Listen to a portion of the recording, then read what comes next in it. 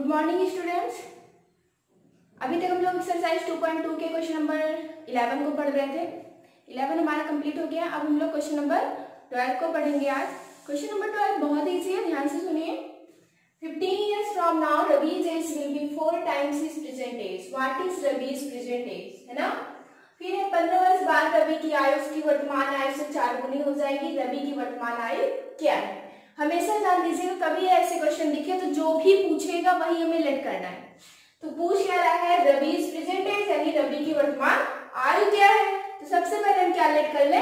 रवि की वर्तमान आयु बराबर यक्स मान ले, या Ravi present age equal x तो सबसे पहले हम राइट करेंगे सॉल्यूशन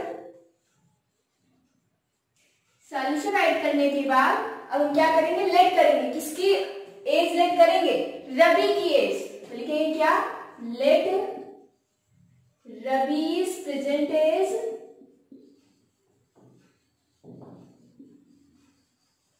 equal कितना? यक्स ईयर्स यानी रवि की प्रेजेंट एज कितनी है? यक्स ईयर्स है. यानी माना रवि की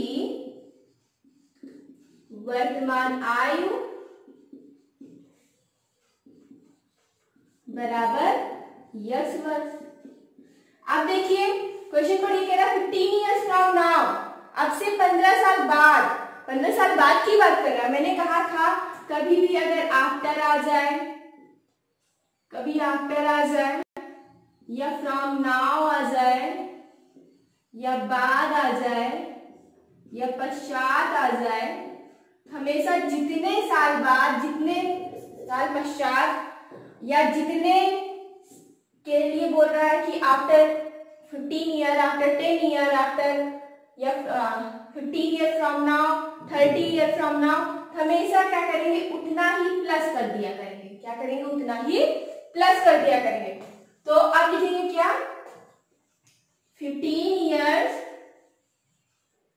fifteen years from now Ravi's age will Ravi's age will be कितनी हो जाएगी?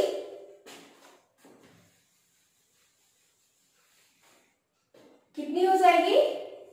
तो रवि की एज कितनी हो जाएगी? यस यस, ये है, और यस में प्लस कितना कर दो? फिफ्टीन कर दो। तो ये रवि की क्या हो जाएगी? फिफ्टीन ईयर्स के बाद की एज हो जाएगी ना? लेकिन कह क्या रहा है कि 15 years from now Ravi's age will be four times his present age अगर 15 साल बाद की बात करें तो जो रवि की प्रेजेंट एज हम यहाँ क्या लिखेंगे? 15 वर्ष बाद रवि की आय बराबर कितना हो जाएगी की आय हो जाएगी कितनी हो जाएगी? तो यस प्लस पंद्रह वर्ष हो जाएगी। ना? अब चलते अकॉर्डिंग टू क्वेश्चन राइट करते हैं क्या? अकॉर्डिंग टू क्वेश्चन तो क्वेश्चन के अकॉर्डिंग क्या बोल रहा है? देखिए ध्यान से। कह रहा है कि 15 इयर्स फ्रॉम नाउ यानी 15 वर्ष बाद रवि की आय उसकी वर्तमान आय से चार गुनी हो जाएगी। अब रवि की आय कितनी है? पंद्रह वर्ष बाद रवि की आयु कितनी हो जाएगी? इतनी है। और रवि की वर्तमान आयु कितनी है? यक्स वर्ष है। यानी रवि की वर्ष हमेशा और याद ध्यान दीजिएगा। कभी भी अगर टाइम्स हो, इतने टाइम्स या कभी गुना हो, गुनी हो, ठीक है? तो क्या करेंगे कि जो भी एज लेट किए होंगे ना, उसको इक्वल उसके कर देंगे। लेट कौन कौन सी एज की है? पहला तो हमने किया प्रेजेंट एज वर्तमान आयु लड़की है, फिर पंद्रह साल बाद की आयोजन किए माने, हैं है ना? तो क्या करेंगे कि वर्तमान आयु को पंद्रह साल बाद की आयु के इक्वल दिखा देंगे। अब देखो क्या कह रहा है। अब पढ़िए। Fifteen years from now Ravi's age will be four times his present age यानी पंद्रह साल बाद अगर हम देखें तो रवि की जो प्रेजेंट एज है ना, अभी की जो एज है, वो फोर टाइम्स हो जाएगी। ठीक है? फिर से देखिए ध्यान से, कह रहा है कि जो रवि की 15 इयर्स बाद वाली एज है, वो रवि की प्रेजेंट एज जितनी है? रवि की प्रेजेंट एज कितनी है? यक्स यस है। यक्स में किससे मल्टीप्लाई कर दें? फोर से मल्टीप्लाई कर दें तो ये फिफ्टीन ईयर्स बाद वाली एज के बराबर हो जाती है। ठीक है? पंद्रह साल बाद के एज के बराबर हो जाती है। तो ये हो जाएगा four x four four x अब इस यक्स को इधर ले आओ ट्रांसपोर्ट करो। तो इधर कोई साइन नहीं है मीन्स प्लस हाइट है। तो प्लस अब ये प्लस एक्स इधर आएगा तो minus x equal fifteen four x में से वन एक्स माइनस करो। थ्री एक्स इक्वल फिफ्टीन अब थ्री और एक्स के बीच में कोई साइन नहीं मीन्स कौन सा साइन है? मल्टीप्लाई का साइन है। कौन सा साइन है?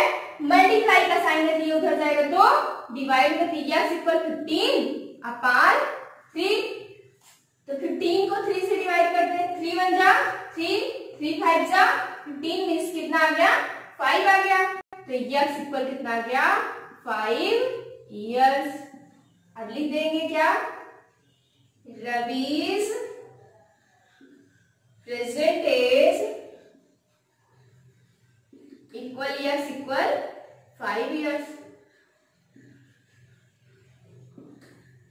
यानी रवि की वर्तमान आयु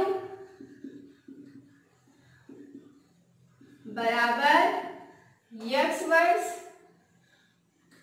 यहाँ ईयर्स लिख लीजिए, यक्स वर्ष बराबर पाँच वर्ष ये हो गया आपका आंसर। आई थिंक ये क्वेश्चन आपको समझ में आ गया होगा। कहीं कोई प्रॉब्लम होती है बताइएगा। और ये क्वेश्चन हुआ आपका कंप्लीट अब हम लोग कल पढ़ेंगे क्वेश्चन नंबर थर्टीन थोड़ा सा अच्छे से करेंगे। ध्यान से देख के करिए। और एक आध दो आप, आप अपने आप से एग्ज़ाम्पल लेकर कर सकते हैं। आप एक आध दो क्वेश्चन बनाइए खुद से बनाने की कोशिश करिए ट्राई करिए। तो उसके बाद क्वेश्चन करिए इसी पे क्वेश्चन करिए।